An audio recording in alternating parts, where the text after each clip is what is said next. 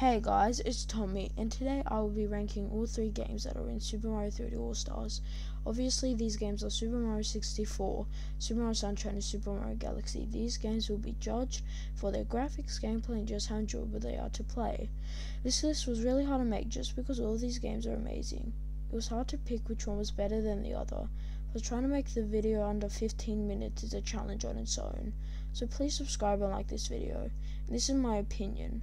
I'm sure there will be a ton of Nintendo fanboys commenting I'm wrong and dumb for my opinion, so please don't become a psycho over a guy's opinion. Switch. So without further ado, let's begin. Number three, Super Super Mario 64 takes a third place spot. This is a great game, especially considering the fact this was Nintendo's first attempt at a 3D Mario game. But I first want to talk about the flaws. This game, the first thing that really ruins the, my experience with the game is the controls and camera.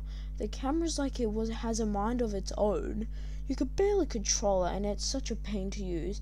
It's sometimes I sometimes die because of it. The controls are not as annoying as the camera, but God help me, they are bad. Mario's so damn slippery. When I try to land a platform, I end up falling off because Mario decided to put grease under his shoes, apparently.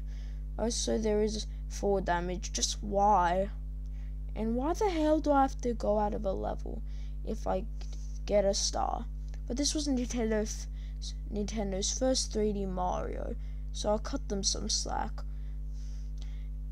But with that out of the way, here are some positives to the game. The levels are big and fun to explore. What? Big and fun to explore. When it is big, you can do a lot with it. Collecting stars, so much fun for me. I've decided to try and collect all 120 stars in Mario 64. So the graphics are just just. Mario games graphics just have a charm to them. And sure, 64 doesn't have Mario any Mario Odyssey type of graphics, but I still love the graphics on 64 because of how classic they are. This game is 8 out of 10 for me. Number two, Super Mario Sunshine, in my opinion, is slightly better than Mario 64. I want to talk about why I think Sunshine is better than 64. Well, everything is improved. The graphics are much better, sort of, but sort of lost the charm for me. The camera is so much better than before, like, I can actually control it without getting annoyed. The levels are bigger, and it introduced some characters in the Mario, Mario franchise, such as Petey Piranha. But let's also look at the problems of this game. First of all, you once again exit a level if you get a shine sprite. Why is this even a thing? Why can't I just collect the shine sprite and move on? Also, the voice acting, it's so bad, it's good. But after, but over all this, over, sorry guys, I'm reading this off a script. But overall, this was a fun experience. This is the most underrated Mario game in my opinion. Even slightly better than 64. Also, I noticed a lot of people like 64 because of nostalgia, which isn't a good reason to say a game is good. Look at me. I never played 64 Sunshine, so nostalgia couldn't affect me.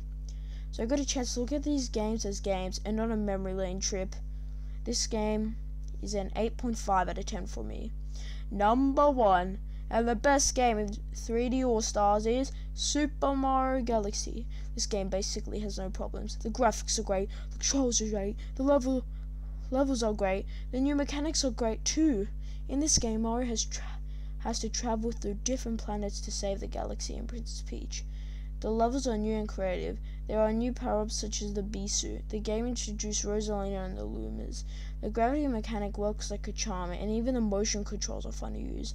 This game has the best story out of all three games, and this game is pretty much perfect. And when you exit a level, because you collect one of the three stars in each level, that's fine.